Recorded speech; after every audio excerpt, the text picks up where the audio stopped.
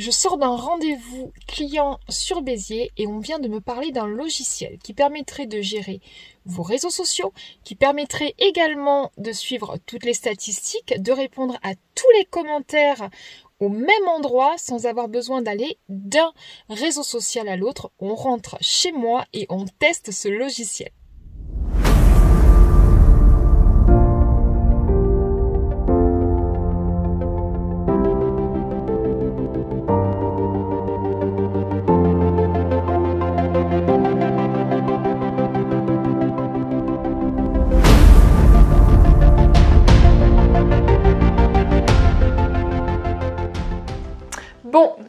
Je suis à la maison. Euh, je vais donc aller sur le logiciel pour tester ce fameux logiciel. Juste avant de commencer, je vais prendre quelques secondes pour me présenter si vous ne me connaissez pas. Je suis Izzy Catala, je suis internet stratégiste. Euh, aujourd'hui, j'ai plusieurs entreprises. Actuellement, j'en ai deux et normalement, d'ici quelques mois, j'en aurai trois ou quatre. Une petite chose qui s'est euh, placée dans la journée d'aujourd'hui, je vous en parlerai plus tard. donc, mon objectif à moi aujourd'hui, c'est de vous aider à avoir plus de visibilité, plus de notoriété et surtout plus de clients grâce à Internet. Pour cela, on a besoin d'outils qui nous aident au quotidien, qui nous permettent d'avoir une vision d'ensemble sur notre activité. Et quand on travaille sur Internet, la meilleure vision d'ensemble qu'on puisse avoir, c'est avec les réseaux sociaux. Les réseaux sociaux sont le principal contact que l'on peut avoir avec nos clients, mais également avec nos prospects. C'est une très belle façon que les gens vont avoir de nous découvrir. Par contre, aujourd'hui, la problématique, c'est qu'il y a de plus en plus de réseaux sociaux. Chacun se dit, ben voilà, tu dois aller là, tu dois aller là, tu dois aller là, et on ne sait plus où on en est. On a tendance à essayer d'être un petit peu euh, sur tous les réseaux. Et en fait, eh ben, on va découvrir aujourd'hui un logiciel qui s'appelle Iconosquare, qui est un logiciel qui va vous permettre de gérer à un seul endroit l'ensemble de vos réseaux sociaux. Donc d'après ce que l'on m'a dit, et on va aller vraiment le découvrir sur mon ordinateur, d'après ce que l'on m'a dit, eh bien il regroupe tout ce dont on a besoin. Vous allez pouvoir du logiciel préparer vos posts, les partager comme j'utilise actuellement Buffer, mais il va vous permettre également d'avoir des statistiques générales sur l'ensemble de vos réseaux sociaux ultra poussées il va également vous permettre de programmer vos posts, euh, mais également de collaborer avec d'autres personnes. Imaginons que vous, que vous avez un community manager qui va gérer vos posts ou une personne qui va créer vos visuels. Et eh bien tout simplement, plutôt que de d'abord vous les envoyer par mail, ensuite que vous les vérifiez, que vous les validez, qu'ensuite la personne les poste, et eh bien tout simplement, elle va pouvoir les mettre dans le logiciel et vous, vous n'aurez plus qu'à les valider. Et ça, je trouve que c'est un gain de temps qui est plutôt incroyable. Aujourd'hui, je vous l'ai dit, je cherche à alléger la charge, ma charge personnelle au niveau de ma société, mais également de mettre en place des outils qui vont permettre de créer des collaborations beaucoup plus fluides, mais également des collaborations qui vont me permettre euh, bah, d'avoir plus de personnes autour de moi sans que je sois en train de gérer bah, la plupart des activités de ma société, puisque je sais faire ce que je fais. Généralement, quand on est une entreprise comme vous, peut-être ce qu'on cherche à déléguer, c'est la technique. Il s'avère que ce que je vends, ce que je propose, c'est la technique. Euh, aujourd'hui, j'accompagne mes clients dans la technique, dans la recherche de solutions, de stratégies pour mettre en place sur les réseaux sociaux. Et on a besoin d'outils comme celui-ci. Je me suis un peu perdue dans mes explications. Bref, on n'est pas là pour parler de mon fonctionnement, mais plutôt du vôtre et comment cet outil va nous permettre de progresser. Donc on va passer directement sur mon ordinateur.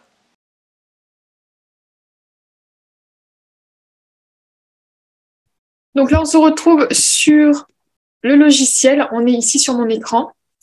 Et vous voyez déjà tout en haut il y a la possibilité de le mettre en français. Alors, il y existe l'application téléphone qui va vous permettre de gérer donc tout ce qu'on va voir aujourd'hui sur votre téléphone. Par contre, l'application, elle est en anglais. Sur euh, Internet, sur l'ordinateur, c'est complètement en français. On va donc faire déjà un petit tour du logiciel. Comme je vous l'ai dit, je ne le connais pas. Donc ici, on est sur la page d'accueil. Donc simplifier ta vie, euh, Social Media Manager. Donc pourquoi pas, on va faire une démonstration gratuite avant, on va aller dans les tarifs. Alors, de ce qu'on m'a dit, on va aller regarder ça. Donc, comment ça marche déjà? Je pense que ça peut être intéressant d'aller regarder ça. Numéro on va donc créer un compte. Ensuite, on va connecter nos profils. Ensuite, on va récupérer les stats. Enfin, c'est le logiciel hein, qui va le faire, c'est pas nous. Et, on, et voilà, tout est prêt. Alors, euh, je vous l'ai peut-être dit avant, mais je fais mes stats euh, en ce moment quasiment tous les jours puisque euh, je trouve ça très intéressant. Donc là, c'est tout simplement une petite image qui nous récapitule ce qu'on vient de voir au niveau ici des tarifs. Donc on va aller regarder ça. Nos tarifs euh, est basé sur le nombre de profils. Donc, il faudrait aussi voir quels sont les types de profils qu'il accepte. Alors ici, donc trois profils supplémentaires. Donc on a trois profils et ensuite c'est 15 euros par profil supplémentaire. Donc ça c'est celui qui est le plus appliqué. En plus il y a deux utilisateurs, ce qui est plutôt plutôt bien. Caractéristiques principales, donc analyse, rapport avancé, euh, programmation en toute sécurité. Donc on va pouvoir programmer les posts pour Instagram, Facebook, Twitter, LinkedIn et TikTok. Je ne suis pas encore sur TikTok. Ici, donc c'est la formule avancée. On peut avoir cinq profils Nombre illimité d'utilisateurs, très bien. Toutes les fonctionnalités pro en plus, donc analyse des publications promues. Nous, on a un peu besoin de ça quand même. Hein. Des mentions, donc sur Instagram, un tableau de bord personnalisé et approbation des posts et collaborateurs. C'est-à-dire que nous, on va pouvoir approuver les posts de nos collaborateurs. Et ici, on a donc à 139 euros par mois, nombre d'abonnés, nombre d'utilisateurs illimités. On a le droit à 10 profils programmation dédiée euh, au Customer Success et rapport PDF en blind page. Donc ça, ça peut être utile quand vous êtes un professionnel qui gère les réseaux sociaux d'autres personnes. Eh bien, tout simplement, vous pouvez euh, éditer un rapport de ce qui a été fait et ça vous permettra d'avoir donc euh, la totalité, d'avoir le, rapport en fait de, de votre travail, des avancées et des pertes. Donc ici, on a le comparateur du plan. Donc ça, c'est ce qu'on a vu tout à l'heure. Hein. Donc c'est 3, 5 ou 10. Profil supplémentaire 15, 12 ou 10. Utilisateur 2, ici c'est limité. Donc voilà, ici on a un petit coût par utilisateur supplémentaire. Euh, donc ici c'est par profil supplémentaire et ici c'est par utilisateur supplémentaire. Statistiques Instagram, Facebook, euh, Twitter, LinkedIn et TikTok. Analyse des publications promues uniquement sur TikTok analyse des tags et mentions euh, uniquement sur Instagram, pardon, et ici uniquement sur Instagram, tableau de bord personnalisé Instagram, Facebook, euh, Twitter, LinkedIn et TikTok, rapport de performance sur l'ensemble des cinq réseaux. Ici, rapport de concurrence. Ça, c'est hyper intéressant. Ce qu'on appelle du benchmarking euh, ou ce qu'on appelle aussi l'océan bleu, c'est-à-dire aller voir ce que font les autres personnes. Rapport des hashtags uniquement sur Instagram. Rapport euh, de tableau. Donc, vous voyez, on n'a pas de rapport ici sur le premier prix, mais on peut l'avoir sur les deux autres. Euh, rapport en marque blanche, théoriquement, vous voyez, on l'a que sur le dernier. Et ensuite, euh, contenu. Analyse détaillée des publications sur tous les réseaux sociaux. Analyse détaillée des stories uniquement sur Instagram. Les albums sur Instagram et sur Facebook. Les, les étiquettes, pareil. Et ici, donc, on peut programmer les publications sur tout sauf LinkedIn. Je, crois aujourd'hui qu'il n'y a que euh, Buffer qui permet de programmer sur LinkedIn. Euh, programmation des stories carousel et reels sur euh, Instagram. Publication interplateforme, ok. Programmation des premiers commentaires. Programmation du... Ah, on peut programmer un premier commentaire, apparemment. Médiathèque, donc ça veut dire qu'on va pouvoir avoir une base de données, télécharger des étiquettes et organiser des photos et des vidéos depuis ton ordinateur. OK. Donc approbation des postes, donc là c'est pour euh, les contenus. Donc par exemple, on peut demander apparemment à un client envoie ton contenu pour approbation à tes clients ou à ton équipe avant de les publier. Partage facilement ton calendrier. Voilà. Conversation suivie des commentaires. Donc, c'est un seul endroit où vous allez pouvoir avoir tous les commentaires. Ici, export des commentaires. Ici, suivi des mentions. Donc, c'est euh, toutes les personnes qui vont mentionner votre nom. Ici, analyse de la concurrence, donc trois par profil. Donc, par exemple, on peut mettre trois personnes à suivre sur Instagram et trois personnes euh, sur euh, Facebook. Alors ça, je pensais pas que c'était ça. Je pensais que c'était, ils allaient eux nous proposer quelles étaient les, les, choses intéressantes, donc à voir. Suivi des hashtags, donc les hashtags intéressants qui sont sur Instagram, flux personnalisé. Donc là, il y en a cinq. Veille industrielle. Alors c'est peut-être ça, la fameuse veille dont je vous disais qu'ils allaient pouvoir nous proposer, eux, des choses euh, intéressantes à regarder. La concurrence supplémentaire, donc euh, c'est 3,75 par mois pour personne supplémentaire, sachant que euh, le suivi de la concurrence, c'est gratuit sur Facebook, hein, complètement. Donc par contre, attendez, on va lire.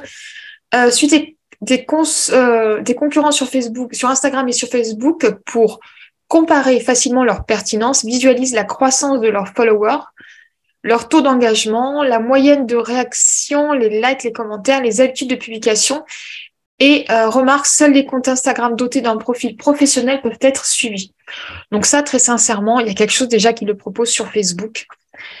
Euh, flux personnalisé, OK. Et ensuite, outils euh, de sélection de commentaires aléatoires.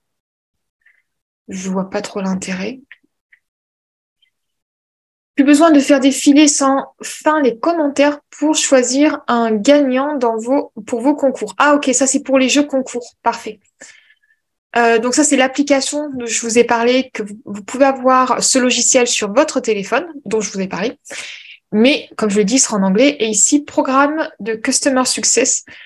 Ton responsable euh, du succès client sera disponible par... Ah, ok. Donc là, on a en fait une personne qui va être à notre disposition pour nous aider. c'est plus un conseil, mais c'est que sur la version la plus chère. Et quand on descend, il n'y a plus rien. Donc nous, on va faire un test sur la version intermédiaire, c'est-à-dire celle-ci.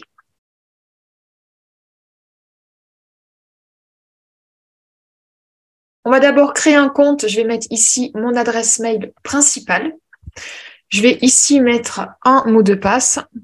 Parfait. Donc, il faut huit caractères, une lettre majuscule, euh, un caractère spécifique, donc c'est-à-dire euh, euh, étoile, plus, dièse, petit point, gros point, etc. Un chiffre et une lettre minuscule. On accepte ici les deux et on crée le compte. Ok, votre compte n'a pas encore été confirmé. Vous devez confirmer à l'adresse. Donc, je vais aller sur mon Outlook pour aller chercher la validation. Le compte est créé. Donc là, on va configurer le compte. Voilà. Donc là, j'ai rempli tous les éléments. On fait suivant. Maintenant, on va connecter chacun de mes réseaux. Alors, euh, cocher les cases pour autoriser. OK. OK, je vais bien cocher.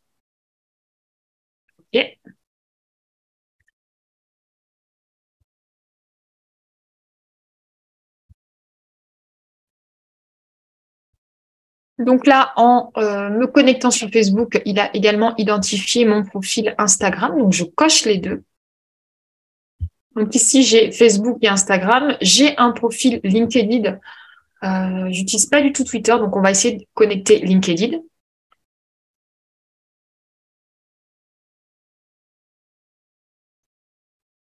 Alors là, la problématique, c'est que je n'ai pas de page LinkedIn, j'ai qu'un profil LinkedIn.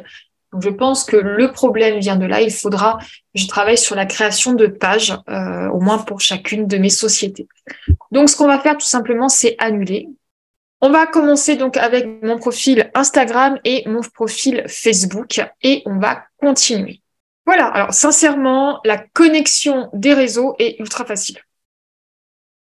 Va donc commencer notre essai.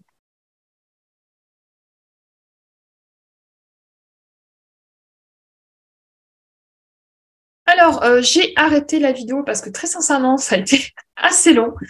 Euh, le temps qui récupère les statistiques. Et donc, quand ça a été fini, on est arrivé euh, à cette page-là. Donc, bienvenue sur InnoSquare. Voulez-vous rapidement un aperçu de la plateforme? Mais bien sûr. Donc, historique partiel disponible. Vous pouvez dès à présent utiliser InnoSquare pour visualiser vos données statistiques des 30 derniers jours. Les données antérieures sont actuellement en cours de récupération et seront rajoutées dans votre historique progressivement. Donc, parfait. Euh, ici, donc, on a euh, vos performances en un clin d'œil. Voilà, on a toutes les performances. Consultez les sous-rubriques des statistiques euh, pour une analyse plus détaillée, avec notamment les données démographiques de votre communauté, vos meilleurs horaires pour publier ou encore les créneaux pendant lesquels vous avez plus d'abonnés connectés. Parfait. Donc là, on est euh, sur la vue d'ensemble. Je présume que ça regroupe euh, les deux réseaux. On va découvrir ça ensemble. Donc là, je ne peux pas descendre, j'ai une petite barre à l'intérieur. Et voilà toutes les données statistiques. Alors, je sais que j'ai énormément à travailler sur mes réseaux aujourd'hui. Et c'est aussi pour ça que je cherche un logiciel qui va pouvoir m'aider à tout regrouper. Donc, donc, donc, bon, au moins tout est en vert, hein, ça c'est l'essentiel. Mais bon, c'est pas assez par rapport à ce que j'ai l'habitude. Ici, fan, on est donc ici sur Facebook. Ici, on voit que je suis en dessous de la barre des 12 000, c'est-à-dire que j'ai beaucoup perdu parce que j'étais au-dessus de la barre des 12 000. Ici, euh, donc j'ai trois fans, donc j'ai une baisse de 83% d'inscrits par rapport à d'habitude, mais je sais que sur les cinq derniers jours, j'ai pas beaucoup posté, euh, voire même la dernière semaine. Euh, ici, fans gagnés, donc j'ai 21 fans gagnés. Euh, évolution du nombre. Alors, j'ai gagné 21 nombres nouveaux abonnés, mais en tout, ça fait réellement que 3% d'augmentation, parce que j'ai donc 18 personnes qui se sont désabonnées. Ce qui est beaucoup quand même. Euh, mais je sais pourquoi. Donc ça, ça va être à moi de, le résoudre. Ici, on a quand même une augmentation de 50% du nombre d'impressions. Ici, on a une portée qui a augmenté de 17%.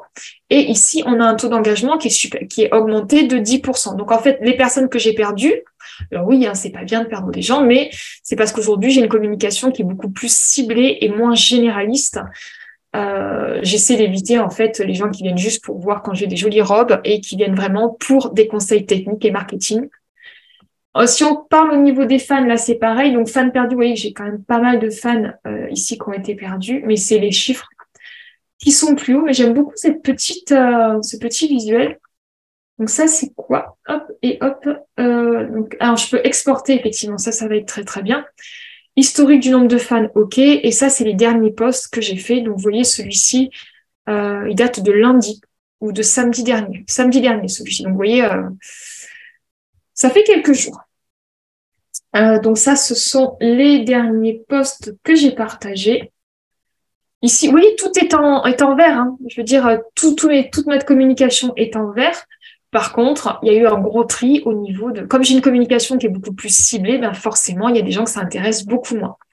On a une perte ici du taux d'engagement, alors ce qui est étrange parce que ici, j'avais euh, euh, engagement de la page, ok, portée. Donc tout ça, c'est sur Facebook. Euh, ce qui est plutôt pas mal parce que ça, évite, en fait, quand on va aller voir les statistiques Facebook, on n'a pas tous ces renseignements sur la même page. Pareil pour Instagram, euh, il faut aller pour avoir les données euh, de Instagram. Eh bien, on doit aller sur euh, Instagram sur un endroit qui est spécifique aussi. Donc là, je sais que donc j'ai eu 12 abonnés en plus, pourcentage d'évolution de 16%.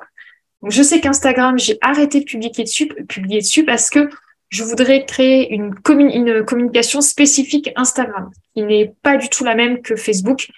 Euh, donc ça, voilà, c'est quelque chose. C'est pour ça que j'ai arrêté aussi de publier. Vous voyez que mes posts sont un peu plus anciens. Donc l'évolution, vous voyez, j'ai quand même ici une évolution du nombre d'abonnés, même si elle n'est pas euh, extraordinaire, c'est quand même une évolution. Et hop, elle n'est absolument pas extraordinaire par contre là. euh, ici, historique d'engagement. Vous voyez, j'ai une perte d'engagement ici et j'ai une remontée là.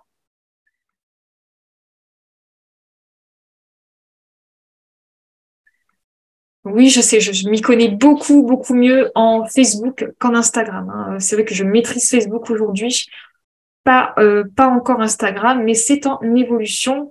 Publication, donc j'ai une augmentation de 100%. Pareil, j'ai perdu par contre 12% de taux de gel, mais comme je vous dis, j'ai pas publié réellement depuis un petit moment. Euh, je publie des stories, mais pas des... Vous voyez, là c'est aux 30 derniers jours, vous voyez, j'ai quasiment rien. Ce qui est normal, parce que comme je vous dis, je suis, euh, bah, ça c'est mes derniers posts. Vous voyez que par rapport à l'autre, j'ai beaucoup moins posté et j'ai posté ce que j'appellerais des visuels Facebook qui peuvent correspondre vraiment quand vous lancez votre activité. Il ne faut absolument pas euh, se soucier de faire des posts spéciaux Facebook ou de faire des posts spéciaux Instagram. On choisit un réseau de cœur. Instagram, LinkedIn, Facebook ou Twitter, celui qu'on veut. Et ensuite, on va tout simplement partager exactement la même chose sur le reste. C'est normal. Ensuite, quand on est un peu plus avancé, comme je le suis aujourd'hui, eh bien, je vais essayer justement de développer un peu plus euh, mon Facebook, mon Instagram, pardon. Donc ici, on a tableau de rapport. Voilà, donc ça c'est le tableau de rapport. Ici, donc on a hop, statistiques, vue d'engagement, etc. C'est tout ce qu'on a vu tout à l'heure. Vous voyez, par exemple, si on va sur les stories, je crois qu'on n'a pas vu euh, quelque chose sur les stories. Non, mais peut-être que c'est pas encore fait, c'est en cours, ou peut-être que c'est dans les, avancés. En tout cas, il avait, c'était noté tout à l'heure que tout n'était pas euh, ici 100% mis à jour. Ensuite, ici, on a les rapports. C'est tout ce qui est exportable. Ça aussi, je pense que c'est en cours. Il va falloir un petit moment. Ici, le contenu, donc c'est tout le contenu, donc soit euh, post et story, soit album. Donc on va rester sur post et story. Donc là, on est sur Instagram et après, je peux faire exactement euh, visualiser tous vos posts publiés et vos stories Instagram. Cliquez sur le post euh, pour avoir les performances. Ok, ben, ça c'est comme sur Instagram. Hein. quand vous êtes sur Instagram, vous avez la possibilité ici d'ajouter dans un album ou tout simplement d'ajouter un label chose que j'utilise pas du tout. Les albums, j'en fais très peu, mais ce sera intéressant d'en faire. Voilà, donc avant j'avais tout ça ici, c'était un feed qui était vraiment orienté Instagram et entre-temps, ben, j'ai arrêté. J'ai euh, joué la feignante, hein, qu'on soit absolument d'accord. Et euh, publication, planifier une publication, collaboration, médiathèque et légende des hashtags enregistrés. Donc, si je vais ici sur planification, c'est là que vous allez pouvoir programmer l'ensemble de vos posts. Donc, il va falloir télécharger l'application et on peut le faire sur le téléphone. Et dernière chose, voilà. Euh, là, on nous propose de télécharger l'application sur le téléphone. Je ne vais pas le faire pour l'instant. Donc, si je vais dans publication, ensuite on a collaboration. Donc là, je pense que ce sont les posts qui vont être programmés euh, pour que les personnes puissent mettre les posts de collaboration, on va dire ça comme ça. Ici, on a la médiathèque. Pour l'instant, j'ai rien, mais je vais pouvoir ajouter des fichiers, etc. pour que euh, pour travailler en fait, pour éviter d'avoir des fichiers sur mon ordinateur, mon téléphone, tout ce qui va être en attente, et eh ben en fait peut être ici. Et en fait, ici légende et hashtag, créer une nouvelle légende ou liste de hashtags. Voilà. Alors ça aussi, ça y est sur Facebook. Euh, vu que quand je poste sur Facebook et Instagram, euh, je vais directement sur le Facebook. Ça, ça y est sur Facebook. Donc, est-ce que c'est intéressant ou pas? Conversation, donc ici je vais avoir l'ensemble des posts. Comme vous voyez, ça n'a pas encore été téléchargé, donc peut-être que c'est à partir de maintenant. Euh, mise à jour toutes les cinq minutes, donc ça, ça peut être intéressant pour, comme je vous dis, de pas aller et sur Instagram et sur Facebook et sur Twitter et sur LinkedIn pour les posts. Par contre, en ce qui concerne uniquement les posts Facebook et les posts Instagram, eh bien, ils sont également sur Facebook. Vous avez un endroit où vous avez les posts Facebook et Instagram ainsi que les posts Messenger. Donc pour ça, je n'en vois pas vraiment l'utilité. Et ici, on a la veille. Donc si je fais veille concurrent, donc je n'ai pas rentré de concurrent, donc je pense que pour l'instant, suivez vos concurrents sur Instagram et comparez les performances. Donc là, il faudrait que j'ajoute un concurrent. Et euh, c'est vraiment à avoir, tout simplement. Donc pour l'instant, Alors, je me suis amusée à faire un tableau first euh, pour voir comment ça fonctionnait. Je vais vous faire un petit tuto là-dessus. Donc, on va tout simplement créer un tableau ici et on va l'appeler euh, to. Allez, hop, confirmer. Et là, je peux vous assurer qu'au niveau statistique, c'est plaisant au plus possible. J'aime les chiffres euh, et je peux vous assurer que c'est vraiment plaisant. Ici, on a la possibilité donc de créer un tableau qui regroupe les deux côtés, donc Instagram et Facebook pour moi.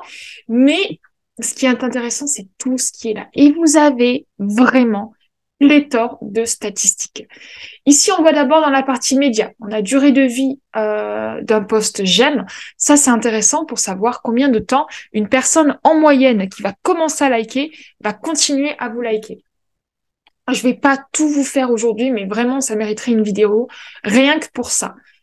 Ici, on a donc publications récentes. Donc, par exemple, je pourrais mettre ici un post avec les publications récentes de Facebook, de Instagram, et je pourrais faire exactement la même chose ici avec publications récentes que je vais pouvoir faire glisser. Hop, publication récente que je peux faire glisser juste ici. Et vous voyez, ah bah j'ai pas changé. Non, c'est moi. C'est ma faute. Hop. Retirer widget, c'est qu'en fait, faut pas le changer ici, il faut le changer ici. Et je l'ai vu tout à l'heure en plus. Donc là, par exemple, on peut aller dans engagement, contenu. et on va aller chercher publication récente. C'est exactement pareil. Euh, post publié. Donc, faites bien attention, il y a marqué les KPI. Donc, euh, dernier post, et vous voyez, je peux faire exactement la même chose à côté. Et là, j'aurai donc les derniers posts Instagram et les derniers posts Facebook. Ensuite, ce qui est très intéressant, euh, je, regardez, mais vraiment, vraiment, il y en a plusieurs.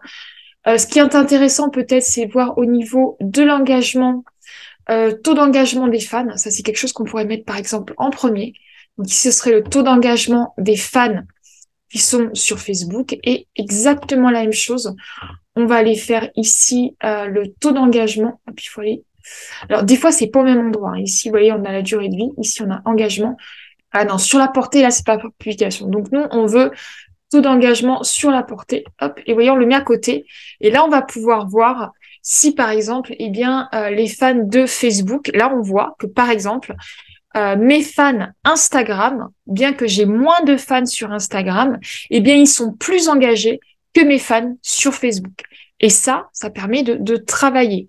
Sachant que, comme je vous l'ai dit à plusieurs reprises, j'ai beaucoup moins travaillé Instagram. Ce qui est très, très, très intéressant ici aussi, c'est le nombre d'abonnés. Communauté, est-ce que ça va être dans communauté le nombre d'abonnés? Voilà, ici, on va aller chercher le nombre d'abonnés dans communauté. Donc ici, ce sera le nombre d'abonnés Facebook, euh, Instagram, donc je peux le mettre juste à côté d'Instagram et faire exactement la même chose pour hop Facebook et aller chercher dans la communauté hop le nombre d'abonnés. Fan, j'aime par page et voyez, on le met juste avant ici. Il faudrait qu'il se décale, voilà.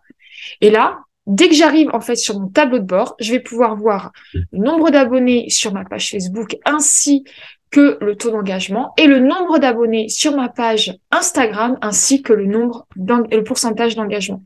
Donc là, en fait, ce qu'il faut vraiment, vraiment prioriser, c'est le pourcentage d'engagement. Hein. Ça sert vraiment à rien d'avoir 10 euh, 000 personnes sur sa page si on a 50 likes par post. Ensuite, ce qui est euh, très, très, très, très, très, très, très intéressant, euh, vraiment, il faut explorer, comme je vous dis, il faudrait vraiment toute une journée. C'est, c'était dans communauté et normalement, il y avait, euh, vous voyez ici, par rapport à votre audience. Moi, ça m'a surpris quand j'ai fait l'autre. Là, par exemple, on est sur Facebook. Donc, je vais prendre ici, hop, je vais le mettre juste là. On peut le mettre juste ici. Et je vais faire exactement la même chose avec Instagram. Et vous allez voir que, il faut venir ici, hop, Instagram et on va aller chercher pareil communauté et âge et sexe. voyez, si je mets là, alors il est un peu plus gros celui d'Instagram, je sais pas pourquoi, mais bon. Je travaille, allez, on va dire vraiment euh, 95% de mes clients sont des femmes.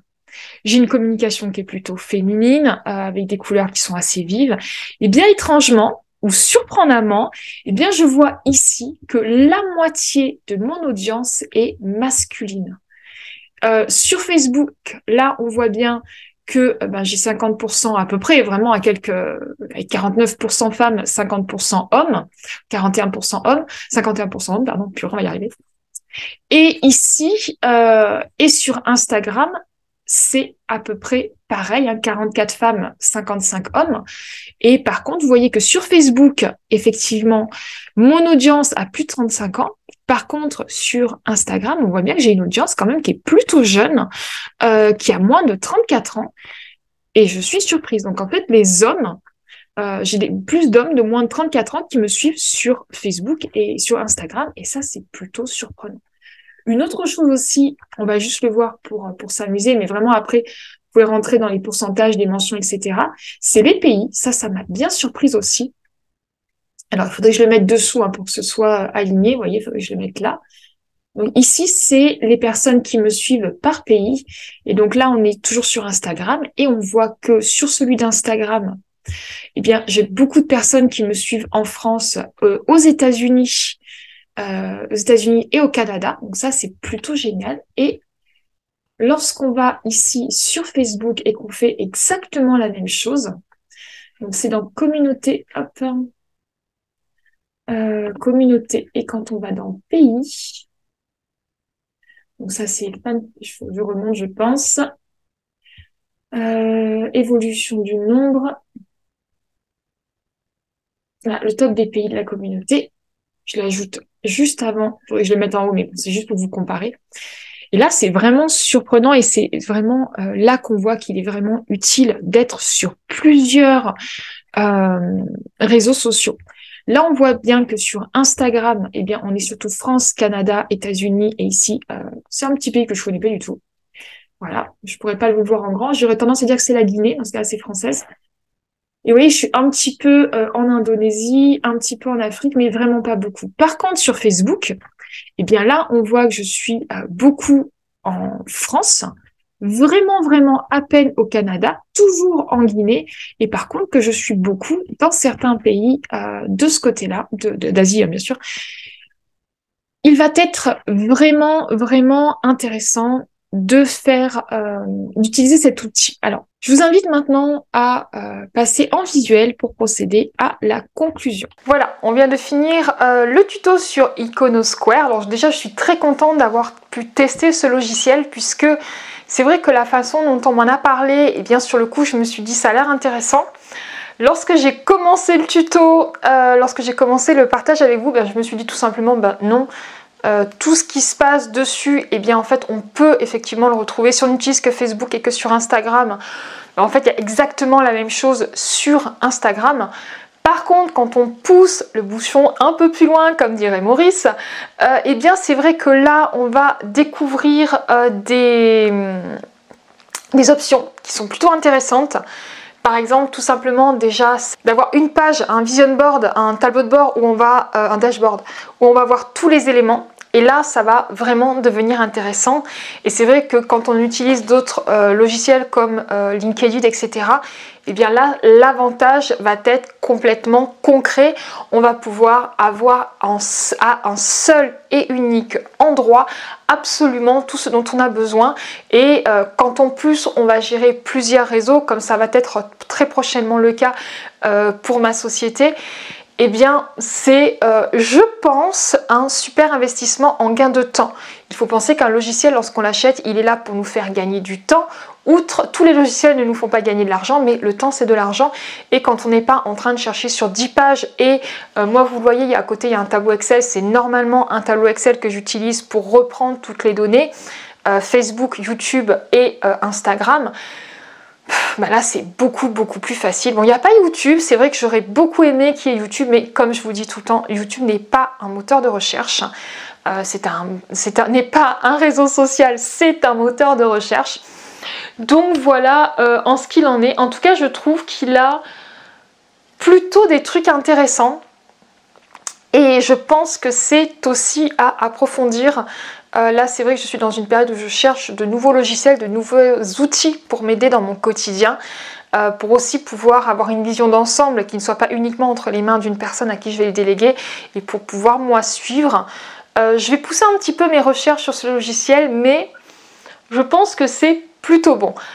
Donc si vous avez aimé ce tuto, n'hésitez pas à me faire un pouce. Si vous souhaitez que je fasse un tuto plus poussé, n'hésitez pas non plus à me le mettre dans, les commentaires. Et si vous avez des logiciels que vous souhaitez que je teste, surtout n'hésitez pas non plus à me le mettre dans les commentaires parce que mon super pouvoir à moi, c'est de maîtriser assez vite les logiciels.